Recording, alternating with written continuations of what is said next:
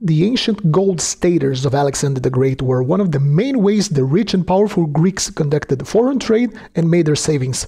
At over 8 grams of pure gold, this was nearly a month's worth of wages for a normal laborer. Struck with gold pillage from the Persians, these coins were widely accepted throughout the Mediterranean and beyond. On the obverse, we have the marvelous bust of Athena looking to the right, with the Corinthian helmet resting on top of her head, flocks of hair falling down her back, and wearing some jewelry for decoration. Only the best engravers work on the dies for these coins, so they're almost always of very good style. On the reverse, we see Nike, the incarnation of victory. She's holding a laurel wreath, the symbol of glory and conquest, as well as a stylis, a protective idol placed on ships as they went to high seas. To her right, we can read Alexandrou, coin of Alexander, and to her left, a mint mark,